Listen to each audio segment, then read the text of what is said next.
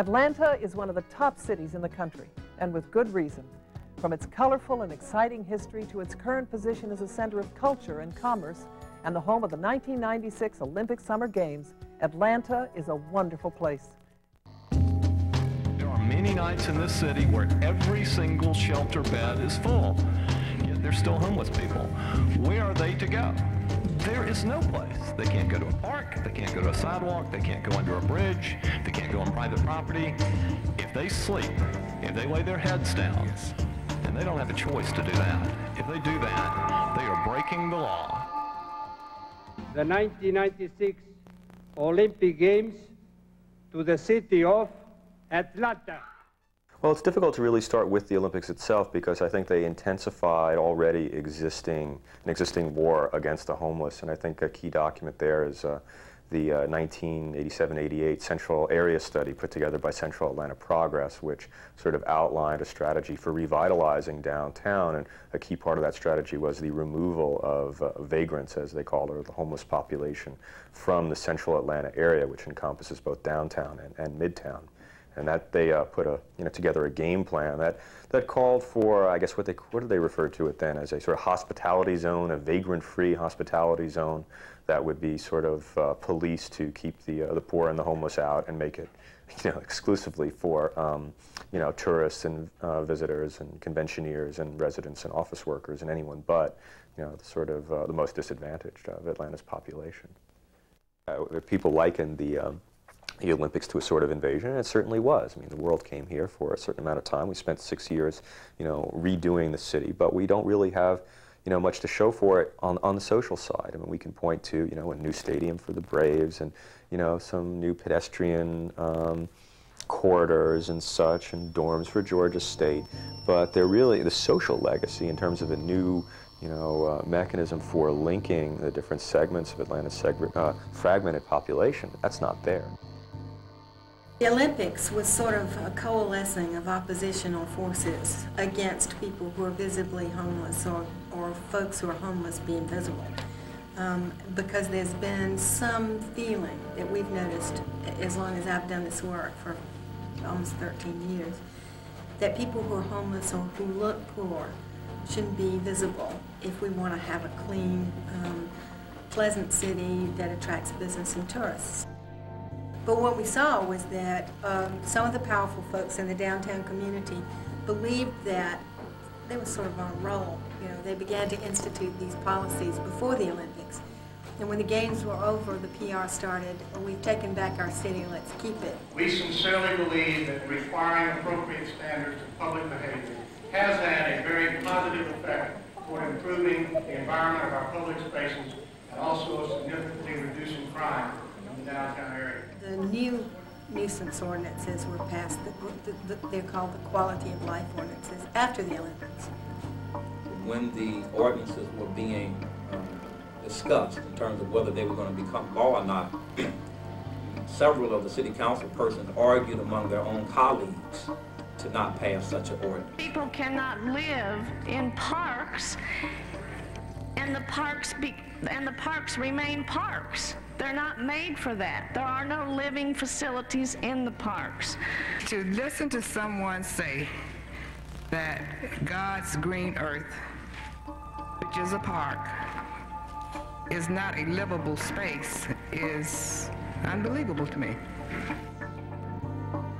The urban camping ordinance is but one of a series of ordinances that have been regrettably labeled quality of life ordinances. One made it a crime to loiter in a vacant building. One made it a crime to panhandle. Uh, and there were uh, ordinances prohibiting remaining in a parking lot uh, or loitering in general. And all those ordinances, and there's about a half a dozen of them, uh, were passed after Atlanta was selected for the Olympic Games uh, with the efforts of Central Atlanta Progress. Central Atlanta Progress is a nonprofit corporation that represents the 200, roughly 200 largest downtown businesses and property owners in the central Atlanta area. And uh, the present group uh, exists, uh, basically dates from 1967 when it was incorporated, but in one form or another it dates back to 1941 when it originated as the Central Atlanta Improvement Association. And then in the 50s it became the Central Atlanta Association. But basically this group is of you know, major private sector leaders with a stake, a financial stake in downtown. And they've taken a leading role in planning uh, the future of uh, the central part of the city. CAP wants to make downtown Atlanta a, quote, safe, clean, and user-friendly city, which has led me and a bunch of other people to say essentially what they're doing here is essentially theme parking downtown, like what's taking place in many other American cities, or Disneyfying it, if you want to use a, sort of, you know, a, a sort of catchy phrase. And, uh, you know, developers like James Rouse, who are responsible for Underground, as well as others, you know, adopt this sort of, uh, sort of uh, thematic vision, a very clean, ordered, controlled environment that doesn't have homeless, the poor, or whatever, and is oriented towards relatively well-heeled, you know, consumers and presents a fairly cheery vision um, of the urban landscape, in contrast to the sort of deterioration and, and decay and poverty that characterizes, you know, a good, a good chunk of the city. The safe, clean, user-friendly idea is really something that's been taking hold since the mid-1980s when CAP realized that they had to develop a new plan to deal with the unintended consequences of their earlier plans that basically allowed private capital to do whatever it wanted downtown. I think Central Atlanta Progress continues to not want homeless people to be uh, in the sight of the downtown community. And the way they do that is they send them off to jail and they make our jails homeless shelters. Well, I think there's a, a trend in, in urban areas across the country to criminalize homelessness. Uh, and Atlanta is at, at the, the front of that trend. Uh, the National Coalition for the Homeless uh, did a study and found that Atlanta had some of the what they termed the meanest streets uh, for the homeless of any cities in the country. Uh, so Atlanta is the, the, supposedly the city too busy uh, to hate is, is has it's the meanest streets for the homeless population. Atlanta simply says, if you are homeless, you cannot lie down or sleep in a public space. And it says, if you go on private property, we will arrest you. If you go on public property, we will arrest you. So you have two choices. Get out of town or die one of the reasons why central Atlanta is in such a poor state that it is, is that you had these private developers like uh, Tom Cousins and John Portman building the Omni complex and building Peachtree Center that sucked all the life out of the Five Points area, out of Fairlie-Poplar, you know, took the people off the streets, closed the stores, moved them to these little, you know, enclaved, uh, privileged realms. And then, you know, in the late 1980s, with the development of areas like Midtown and Buckhead and Perimeter, and uh, Cumberland Galleria, you had the banks and the insurance companies and the lawyers and the uh, real estate firms and all the service industries that fed off these trades moving out of the center to, um, to the periphery or the peripheries. And nowadays, when you take a look at uh, the media and uh, the Atlanta Journal-Constitution and politicians and the like, and they blame the presence of the homeless for the exodus of these corporate tenants, rather than looking at these other, you know, factors that are, you know, perhaps just, you know, certainly more powerful in, in shaping these migrations outward and, and creating uh, the sort of landscape we have downtown right now, which is, is sort of, you know, vacant and emptied and um, a problem of the first order.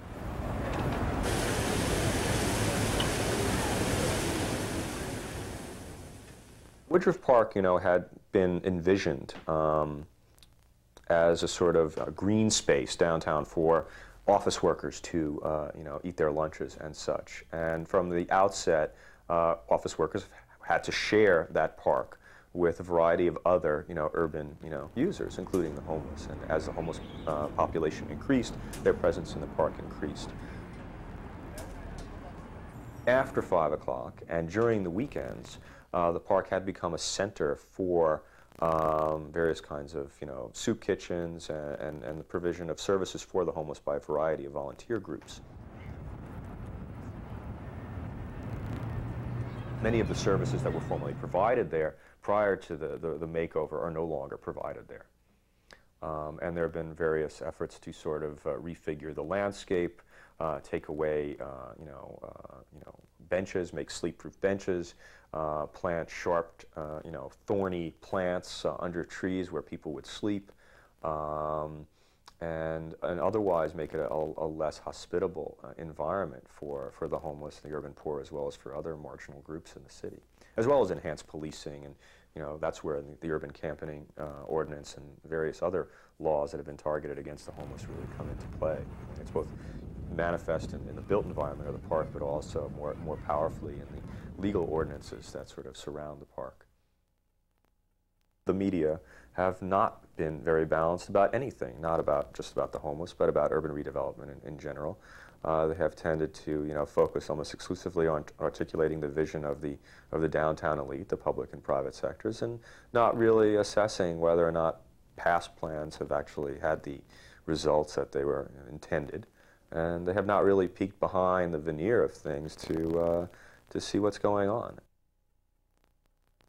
In part also, I mean, the AJC, you know, is a major stakeholder in downtown and certainly has a sort of very vested, you know, interest in seeing downtown improve and attract, you know, high-end boutiques and cafes and, you know, wealthy condos and, and such. And uh, the presence of a large homeless population sort of militates uh, against that kind of you know, rebirth for the area. I refuse to accept in my neighborhood is turning over the control of my streets and my parks and my public spaces on a day-to-day basis to the lowest people in our society. The business improvement district kind of um, arena in planning circles, downtown business district planning circles, are, are preaching the gospel of incarceration and oppression in downtown communities because there's been a growth of homelessness because poverty is more extreme and people who are poor are more likely to experience homelessness. So problems grown, as problems grown, the fear and the, the demonizing of it has grown as if the existence of homeless people impacts the business district, which there is no evidence of we like to say sort of sarcastically, homelessness is not a blood type. It's an experience that people who are poor have. And more and more, 22% roughly of the people who are living in poverty experience homelessness. And more and more often they experience it cyclically, maybe one or more times. But, but the, um, the, the absence of one or two paychecks could spin lots of us into homelessness.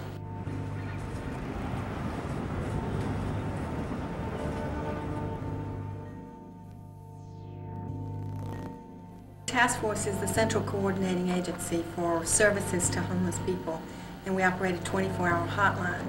And we're here 24 hours a day, seven days a week, trying to get homeless people to the services that they need, from housing to employment opportunities to clothing, food, the works. But of the people who call us, 37%, when they call saying, I need a shelter to go to, are working. Now, they usually lose their jobs if they stay homeless right. because maintaining that is very difficult.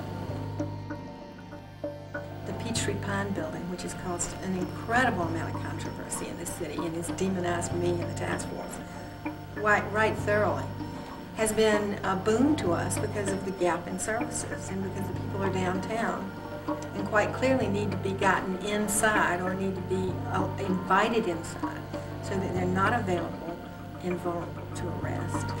Seems to me a no-brainer that folks would say, great, we've got a building, they can go in, they can get cleaned up, they can take a shower, have a mailbox, have a locker, get information about a job, get a shelter bed or transitional facility, be bused to wherever they need to go. That, that just seems to me to be an exciting option but the opposition thinks not. Just as regarding the Peachtree Pine building, there are groups who just have a fundamental disagreement, and I'm one of them that fundamentally disagrees with the plan for Peachtree Pine. And the things that concern me greatly are the size of the building. Uh, just congregating seven, I've heard different figures, seven to 900 people in one location is very difficult to manage. There are lots of folks who believe that we're invading the downtown community and we say homeless people are already there, what we're doing is opening the doors to make sure they have hospitality, decent work, and a place to live and get clean. But November 18, 1996 is also a date that the poor and the homeless citizens of Atlanta will always remember. That was a cold day. It was the winter time. It was around the Thanksgiving holiday. And they passed such an ordinance knowing there was no room in the inn. I'm very uh, happy with the demonstration that took place on August 28th. Of course, uh, that day was selected because it commemorated the 34th anniversary of Dr. King's I Have a Dream speech. And of course, we knew we know that that speech talked about how America and all of its resources had a segment of its population uh, on an island of poverty. We know that speech talks about the fact that every person has should be uh, worthy of inherent respect due to the dignity of each human life. We were able to reach out and, and, and seize the moment for that spirit of that day to the religious community, which was concerned black clergy, the Southern Christian Leadership Conference, uh, and other organizations that really wanted to not, wanted to let the homeless community know that there are still people who care.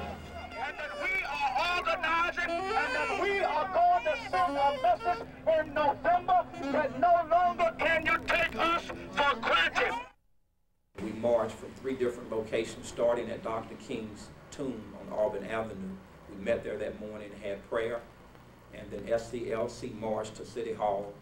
Concerned uh, black clergy marched from Centennial Park, and myself uh, marched with the homeless community from uh, the largest soup kitchen here in Atlanta, St. Luke's, and we all converged upon Woodruff Park and marched in together, by which we had what we call Speak Out for Justice.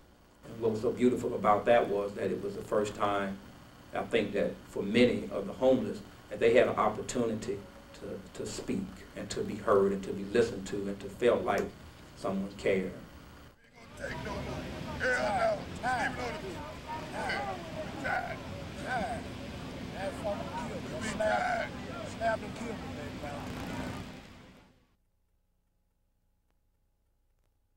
Well, we were originally involved in uh, opposing the City Council in their efforts to pass, originally pass the urban camping ordinance. And we testified against the ordinance, uh, both in committee and before the full council, and uh, attempted to uh, develop some kind of compromise that would address the city's concerns without uh, discriminating against homeless people.